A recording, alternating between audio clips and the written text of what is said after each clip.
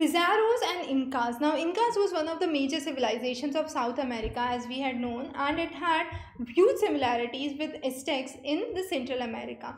Now, the Incas, which was one of the major civilizations of South America on the region from Ecuador to Chile, was being invaded by Pizarro. Now, Pizarro was an uneducated person. He was not at all in contrast to Cortes, who attacked Aztec, as we have understood in our previous lecture. Now, this person, when he uh, reached there, he saw there was a land of gold and silver. So he simply went back to Spain and showed it to the king of Spain that this is a gold jar that has been prepared by Incas. He was an uneducated, unaware man. So he him, simply sh showed it to the king. Now the king promised him that if you are able to conquer that land of Incas, you would be given the governorship of that region and you would have the sole right to rule over there. So he, since he was not much aware, he thought that what would be the best way to do is what Cortes did.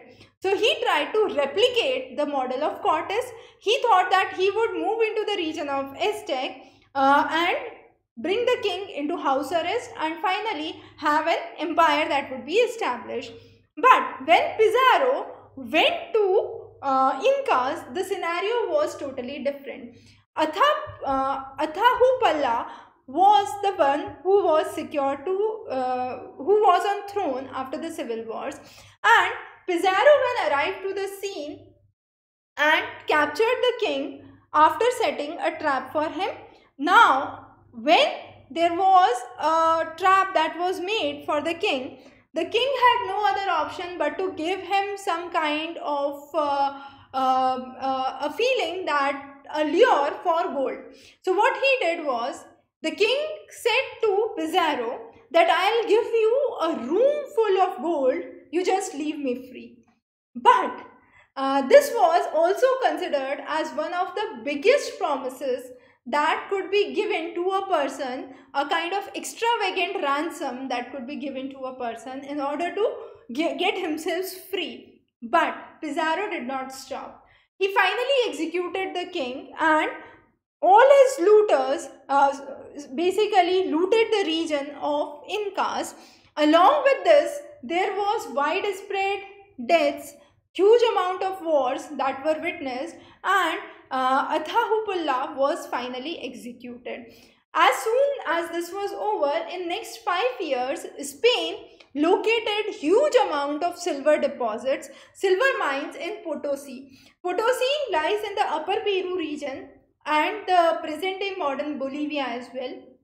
Now, uh, this was the area where huge amount of silver was discovered and the people of Incas were forced to work on their, that land or that mining site. When they refused, there were slaves, uh, people from Africa were brought in as slaves to work on these areas. And in most of the cases, the local people of Incas were made slaves to work in these regions. So that is the story about how uh, Incas was invaded by Pizarro and that brought a revolutionary change in the ground realities that the Incas had despite of the fact of the pyramidal structure in the Incas as we had seen where king was on the top and the whole hierarchy existed to uh, safeguard the empire there was a severe blow when Pizarro along with his army affected uh, attacked the region of Incas.